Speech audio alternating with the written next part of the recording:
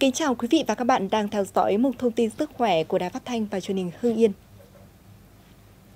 Thưa quý vị và các bạn, con người chúng ta dành ra một phần ba thời gian của cuộc đời cho việc ngủ, bởi đây là thời gian để cho các bộ phận trên cơ thể, đặc biệt là não bộ được nghỉ ngơi. Vì vậy, việc hình thành thói quen tốt, đặc biệt là vào buổi tối trước khi đi ngủ sẽ giúp bạn luôn duy trì sức khỏe tốt. Thông tin được tổng hợp từ trang sức khỏe đời sống của Bộ Y tế.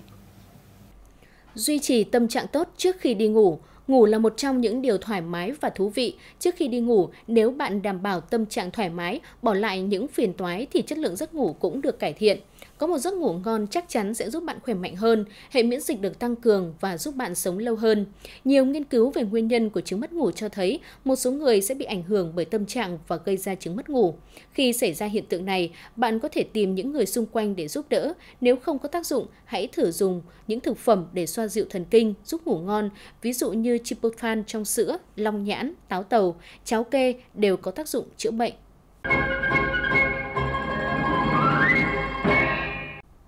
Ngâm chân Đối với những người chịu áp lực công việc nhiều và hay bị căng thẳng, ngâm chân trước khi đi ngủ rất có lợi.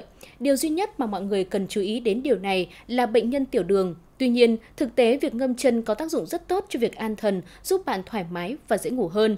Việc ngủ ngon hơn giúp bạn có tinh thần thoải mái, cơ thể khỏe khoắn vào ngày hôm sau. Từ đó, sức khỏe tổng thể cũng được cải thiện rõ ràng, tuổi thọ vì thế mà kéo dài hơn. Đánh lớp phủ lưỡi trước khi đi ngủ. Hầu hết mọi người đều có thói quen đánh răng trước khi đi ngủ vào buổi tối. Điều này rất đáng khen ngợi. Đồng thời, đừng quên chảy lưỡi khi đánh răng. Theo khảo sát, rất nhiều người cao tuổi có hàm răng tốt, một phần nguyên nhân liên quan đến việc chảy lưỡi. Nguyên nhân là do trên lớp phủ lưỡi rất dễ tích tụ một lượng lớn vi khuẩn nếu không được vệ sinh sạch sẽ. Sau một đêm ngủ, vi khuẩn sẽ phân hủy và sinh ra mùi hôi, gây khô miệng, hôi miệng và đắng miệng sau khi ngủ dậy vào sáng hôm sau. Về lâu dài, điều này sẽ dẫn đến các bệnh về răng miệng.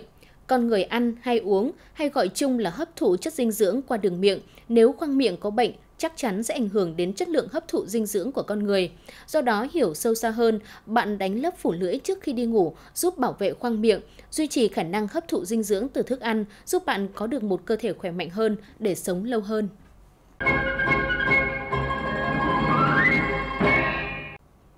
Y tiểu trước khi đi ngủ Mặc dù đây là thói quen sinh hoạt cá nhân, nhưng các bạn nên thực hiện. Trong thời gian ngủ dài, con người không những bị mất nước mà còn tăng sản xuất nước tiểu. Nếu bạn nhịn tiểu vì buồn ngủ thì chỉ ảnh hưởng đến sức khỏe của bàng quang, dễ gây viêm bàng quang. Việc đi tiểu trước khi đi ngủ giúp bạn tránh được những ảnh hưởng này và bảo vệ sức khỏe của bạn tốt hơn.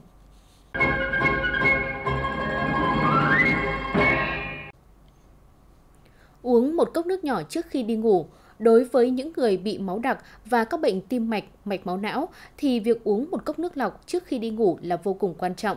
Đối với người bình thường, điều này cũng quan trọng không kém.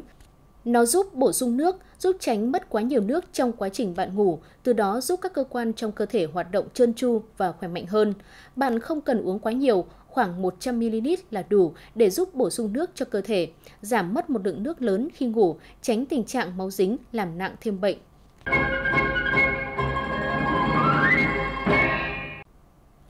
Ngắt kết nối với công việc. Những người thực sự thành công có thể làm bất cứ điều gì, trừ việc giải quyết công việc ngay trước khi đi ngủ. Họ không kiểm tra email và cố gắng không bận tâm đến các vấn đề liên quan đến công việc.